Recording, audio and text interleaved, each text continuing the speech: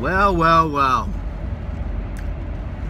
And you know they say regarding relationships and relationship skills, everything I needed to know, I learned in kindergarten. Share, say please and thank you, stay in your space and your desk, don't go in other people's cubbies.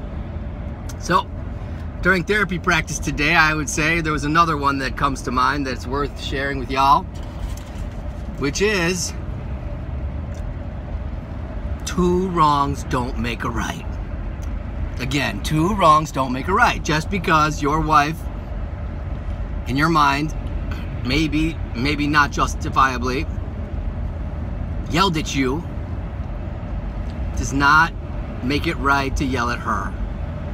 Just because she criticized you does not make it right to criticize her.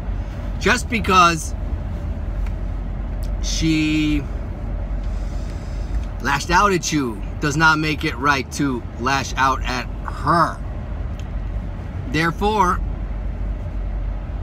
let us remember number one, we distort a lot, so it could turn out, of course, that she's really, you know, somewhat justify where she's coming from, but the way she's doing it might not be okay still. Or maybe she's not justified at all but two wrongs don't make a right. So everything I needed to know, I learned in kindergarten. Have a great day. Be nice, boys.